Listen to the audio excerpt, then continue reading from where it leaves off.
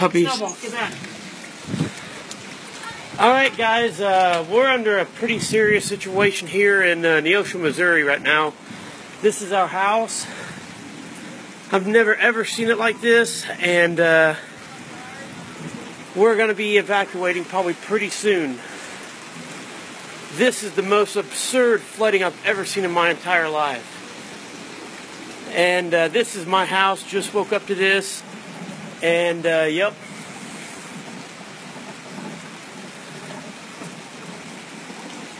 definitely not what people want to be woken up to.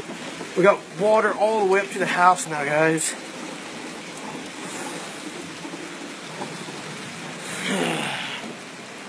So, uh, yeah, we got people stalling out right there.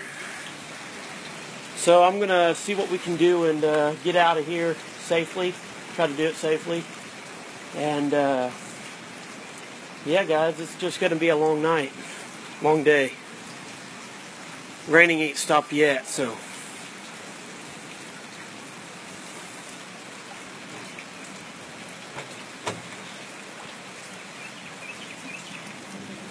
Gosh dang it.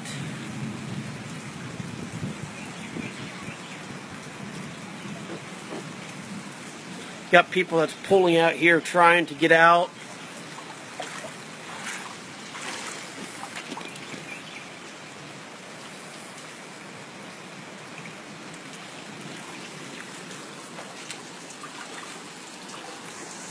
Uh, we're expected another two to three inches probably out of all this. So we got to find a way to get out of here, guys. I've got to get off here. Um, I'm in Neosho. This is Neosho, Missouri. Um, look, front door. Oh, look at the moles. There's a mole next to the doors trying to swim. All right, guys, uh, we're gonna go ahead and see what we can do about getting some of the water, the water rescues in here and uh, try to get some people out of here and evacuate. So, I'll talk to you guys soon. I'm sorry I got to make this short. Um, yeah, this is just absolutely insane. Over a foot by the house now. Um, I got to get back in the house and cut this electricity, guys. Oh, shit. Holy shit! Go ahead and we got to unplug the Come appliances. Amy, let's go. Unplug the appliances. Yeah, um.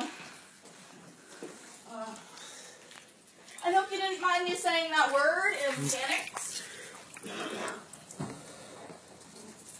Yeah, our entire living room is flooded now. Billy opened the door and everything is flooded now.